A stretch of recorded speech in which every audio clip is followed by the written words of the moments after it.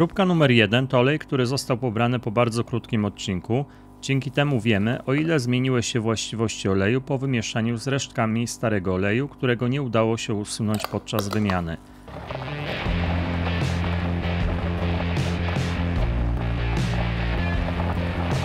Witajcie w kolejnym odcinku na kanale R2D. Bohaterem tego odcinka będzie prezentowany samochód BMW X3 E83, rok produkcji 2006, silnik 2.0 diesel, 150 koni, DPF usunięty, przebieg aktualny pojazdu to 276 500 km. Cel główny odcinka dość nietypowy. Sprawdzamy jak zmienia się olej zaraz po wlaniu do silnika oraz po dodaniu półkanki długodystansowej. W jakim stopniu zmienia się jego lepkość oraz widmo w podczerwieni. Inicjatorem eksperymentu jest Filip, który występował już kilka razy na kanale. Tym razem występuje w imieniu swojej sąsiadki. Na ekranie prezentuje podstawowe informacje o użytkowniku pojazdu, jego wiek, miejsce zamieszkania oraz preferencje dotyczące wymiany oleju silnikowego. Filip skierował do laboratorium R2D taką oto przesyłkę. W środku znajdują się dwie próbki. Są to próbki oleju lekko przepracowanego po odpowiednio 20 i 30 km. W przesyłce nie znajduje się próbka oleju świeżego. Będziemy posiłkować się odcinkiem numer 74, w którym występował dokładnie taki sam olej. Próbka numer 1 to olej, który został pobrany po bardzo krótkim odcinku. Dzięki temu wiemy, o ile zmieniły się właściwości oleju po wymieszaniu z resztkami starego oleju, którego nie udało się usunąć podczas wymiany. Według Filipa jest to znacznie lepszy punkt odniesienia dla zmian, który wywołuje Long Life Oil Syn niż czysty olej z butelki. Błąd wynikający z wpływu starego oleju zostaje wyeliminowany. Próbka numer 2 to olej, który zawiera w sobie płukankę Long Life Oil Syn. Próbka nie została pobrana od razu po wlaniu płukanki do silnika, lecz po przejechaniu krótkiego odcinka. Dzięki temu jest pewność, że olej dokładnie wymieszał się z płukanką, a badana próbka dokładnie odzwierciedla mieszaninę z silnika. Czyli w mniejszym stopniu istotny jest w tym przypadku przebieg, czy to 20 czy 30 km, bardziej chodzi o dobre wymieszanie substancji. Do silnika zalany został olej Shell Helix Ultra w klasie lepkościowej 5W30. Klasy jakościowe oraz aprobaty wpisujemy do tabeli zbiorczej. Jeśli chodzi o książkę serwisową i część powiązaną z olejem silnikowym, to wygląda to następująco. Przebieg badanego oleju to odpowiednio 20 km i dokładnie 34 km. 50% eksploatacji to miasto, 50% trasa. Dominują odcinki z przedziału od 10 do 20 km. Olej eksploatowany przez kilka dni, brak dolewek, jedna próbka uwzględnia płukankę, druga nie. Przechodzimy do badań laboratoryjnych. Najpierw pomiar oleju, który pracował w samochodzie przez 20 km, a następnie pomiar tego samego oleju po dodaniu płukanki po przejechaniu 14 km. Zapraszam do wspólnego eksperymentowania.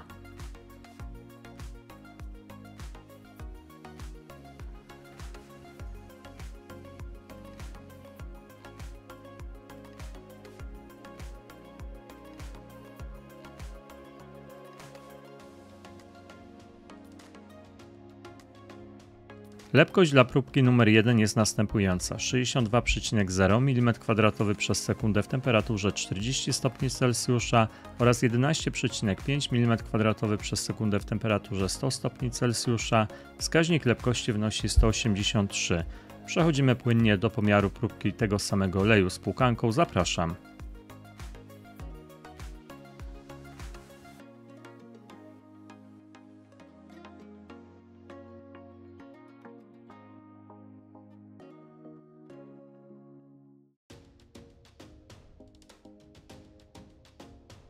Lepkość do oleju próbka numer 2 jest następująca: 58,3 mm2 przez sekundę w temperaturze 40 stopni Celsjusza oraz 11,4 mm2 przez sekundę w temperaturze 100 stopni. Wskaźnik lepkości wynosi 194. Zanim przejdziemy do wniosków, to jedno istotne założenie. Punktem odniesienia do wyliczenia zmian procentowych są wyniki dla oleju świeżego z odcinka numer 74. W tym właśnie odcinku numer 74 wykazano, że potrafi być dość duża rozbieżność między deklaracją producenta, a tym co wychodzi w badaniu laboratoryjnym.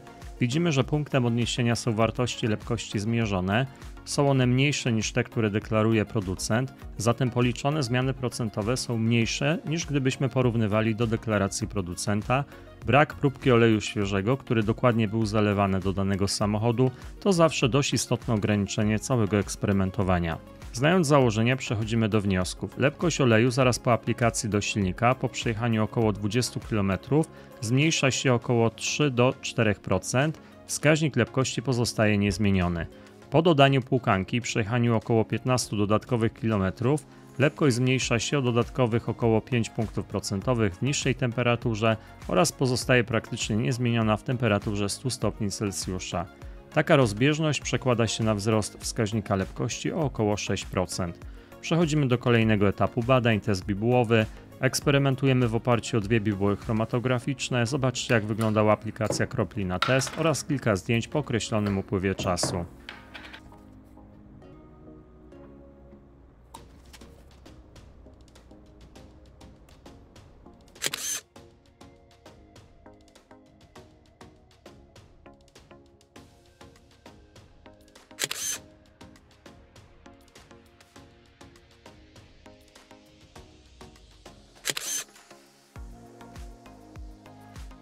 Oglądamy plamy z różnych perspektyw oraz przy wykorzystaniu dodatkowego podświetlenia. Kluczowa sprawa to namierzenie jakiegoś sygnału o zastosowanej płukance. Można zauważyć, że kropla z płukanką jest jaśniejsza, zanieczyszczenia są zneutralizowane przez środek płuczący. Ogólnie jak na diesla to plamy są bardzo jasne, jest możliwość rozróżnienia kilku okręgów. Po dodaniu płukanki na tym zdjęciu widać wyraźnie, że zanieczyszczenia przechodzą w drugi okrąg, czyli pojawia się dodatkowa strefa rozpraszania. Przechodzimy do podczerwieni, rejestrujemy widma, oceniamy poziom degradacji oleju po zaledwie 20 km oraz wpływ zastosowanej płukanki. Odejmujemy widmo oleju świeżego od widma oleju przepracowanego, zarówno próbka numer 1, jak i próbka numer 2, żeby sprawdzić, jakie pojawiły się zmiany. Pierwszy cel, który nam przyświeca, to sprawdzenie, jakie zmiany pojawiają się na widmie dla oleju, który został tyle co zalany do silnika i pozbierał wszystko, co pozostało po poprzedniej wymianie. Wyświetlam teraz zestawienie tabelaryczne. Widzimy, że te zmiany należy uznać za nieduże. Mogą stanowić dobry punkt odniesienia dla wyników z innych eksperymentów. W drugiej kolejności sprawdzamy, w których miejscach na widmie da o sobie znać zastosowana płukanka. Do podkreślenia są następujące miejsca na widmie: 1726, 1708, 1667, 1270, 1250, 1115, 1100, 1020. Za co odpowiedzialne są poszczególne zakresy, odsyłam do osobnego filmu, który traktuje o tym szczegółowo.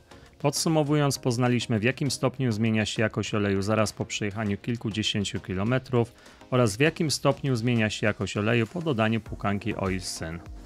Dziękuję za wspólne eksperymentowanie, z góry dziękuję za aktywność na kanale, bo jest ona bardzo ważna. Komentarz, łapka w górę, subskrypcja kanału to sygnały dla mnie, że prowadzone eksperymenty spotykają się z Waszym zaciekawieniem.